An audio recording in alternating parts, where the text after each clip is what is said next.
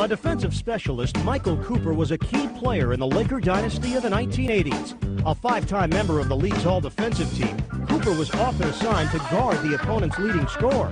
After winning five NBA titles, Cooper coached the Los Angeles Sparks to a WNBA title, and he's earned the admiration of current Laker Brian Shaw.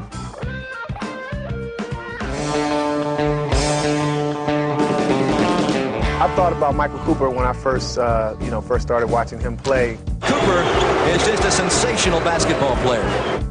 But he was somebody that he was always where the action was. The young man wants to be on the all-defensive team every year. You know, I thought that he was a guy that was fearless out on the court. Whenever there was any action, loose balls, Cooper seemed to be there. What a player by the Defensive Player of the Year!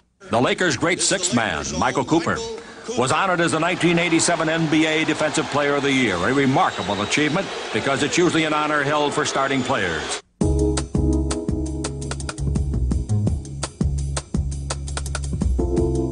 Coop would actually develop, while the game was going on, a hatred for the person that he was guarding. He wanted to pump fear in their heart, shadow them everywhere they went. You know, he has that look on his face, you know, that fearless look like a dog, like, I'm gonna get you. When you are the leading shot-blocking guard in the league, now you are an intimidator in two factors, not only because of defensive position, but also because you block shots. In this picture, he's guarding Dennis Johnson. Looks like he's uh, blocking one of his shots. That was a beautiful defensive effort by Michael Cooper. In this picture, he's guarding Larry Bird, so that shows the versatility that he has. He can guard a point guard, he can guard a small forward or a power forward. If it was the other team's top scorer, he was a stopper, and that's who he was going to guard. Well, one thing you'll notice, he always had the strings out. So I don't know if that was something that he had a superstition about or whatever, but he always seemed to have his strings out. What also brought attention to him was the fact that he he chose to wear his socks as high as he as he did, and it really made him stand out because he was so skinny.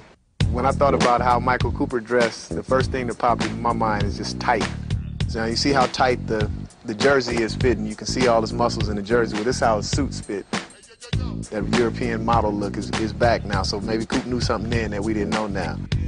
A guy that was so skinny, you know, sometimes his pants would be so tight you could see his calf muscles and his and his quad muscles through his pants. Michael Cooper, the sixth man, the man who does it all. They call me Coop. My main hangout is up around the hoop. Coop, you know, was a was an underrated leaper. You know, I know that he can get up, but right here you see his head is almost he had to duck to, to uh, avoid from hitting the backboard right here. He's probably on the end of one of Magic's uh, Coop-a-loops. Lob for Cooper. Which is something that I would have loved to play with him and thrown to him. What better player to pattern yourself after than a Michael Cooper? Michael Cooper is the type of guy that gives you all the intangibles. I could say that I'm proud to, to try to follow in a guy like his footsteps. That's it for this week's show. Remember,